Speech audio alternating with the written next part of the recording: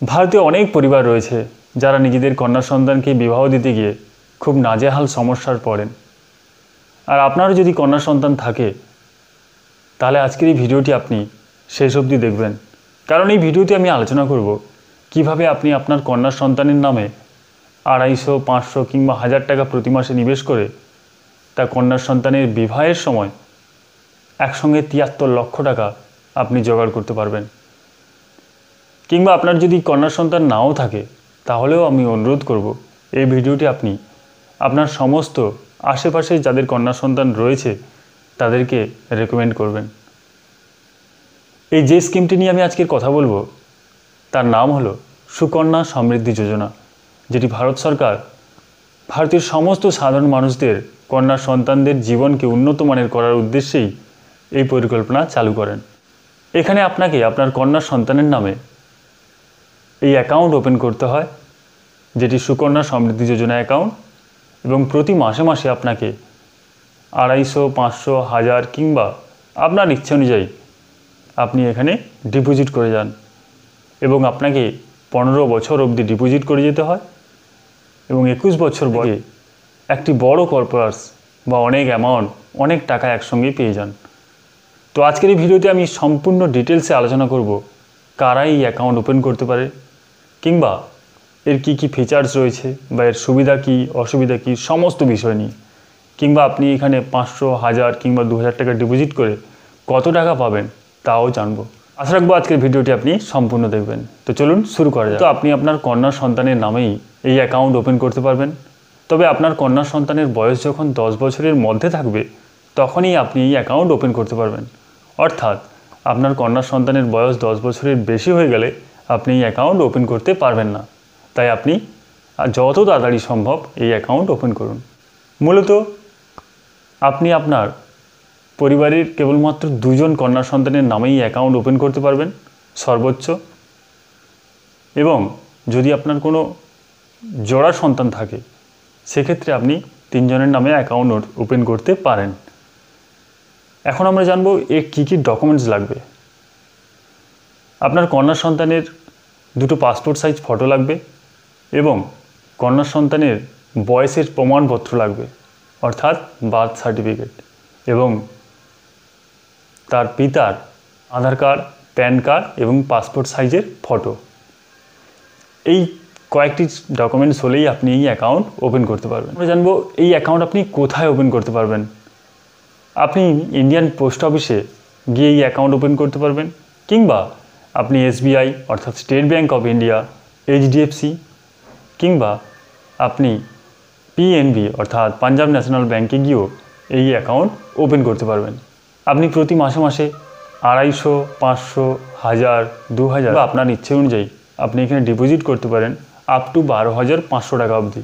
এর একটি অত্যন্ত ভালো দিক হলো, আপনি এখানে যা নিবেশ করবেন সম্পূর্ণ থাকে ট্যাক্স ফ্রি এবং আপনি যখন সমস্ত টাকাটা উইথড্রল করবেন সেটাও থাকে সম্পূর্ণ ট্যাক্স ফ্রি অর্থাৎ ট্যাক্স পারপাসেও ভালো ইনভেস্টমেন্ট বলতে পারেন।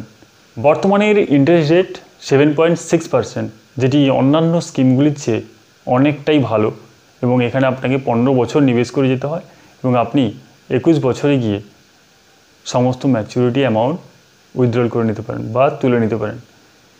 কন্যা সন্তানের বয়স যখন আঠেরো বছরের নিচে থাকে, তখন পিতামাতাই এই অ্যাকাউন্ট পরিচালনা করেন। কিন্তু কন্যা সন্তানের বয়স যখন আঠেরো বছর অতিক্রম হয়ে যায়, তখন কন্যা সন্তান তার নিজের ইচ্ছে অনুযায়ী এই অ্যাকাউন্ট পরিচালনা করতে পারেন। এবার ধরুন, হঠাৎ করেই যদি ভগবান না করুক, কন্যা সন্তানের ডেথ হয়ে যায়, সেক্ষেত্রে আপনি এই অ্যাকাউন্ট ক্লোজ করিয়ে সমস্ত টাকা সেভেন পয়েন্ট সিক্স পার্সেন্ট ইন্টারেস্টের হারে ক্যালকুলেট হয়ে সমস্ত টাকা উইথড্রল করে নিতে পারেন। কিংবা ধরুন এই অ্যাকাউন্ট চলাকালীন যদি কন্যা সন্তানের পিতার ডেথ হয়ে যায়। সেক্ষেত্রেও আপনাকে কোনো অ্যামাউন্ট আর ডিপোজিট করার প্রয়োজন পড়বে না।